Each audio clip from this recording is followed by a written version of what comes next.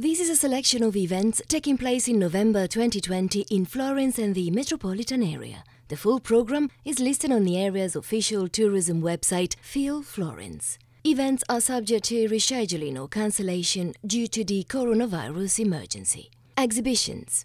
Until the 31st of December, the Uffizi will host the first exhibition dedicated to Giuseppe Bezzuoli and the Italian Romantic painting.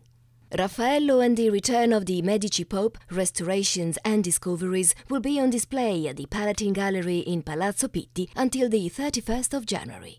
The exhibition documents the restoration of the famous work by Raffaello, Portrait of Pope Leo X with Cardinals Giulio de' Medici and Luigi de' Rossi. The painting is returning to Florence after being exhibited at Scuderie del Quirinale in Rome. With another voice, I will Return to Poet, Bronzino's portrait of Dante can be visited at the Pinacoteca of Florence's Charter House in Galluzzo until the end of the year. Van Gogh and the Cursed will be extended until the 8th of December at the Cattedrale dell'Immagine in the complex of Santo Stefano al Ponte in Florence. Cinema the 61st Festival dei Popoli, the International Documentary Film Festival, will be held from the 15th to the 22nd of November in various locations in Florence, including Cinema La Compagnia.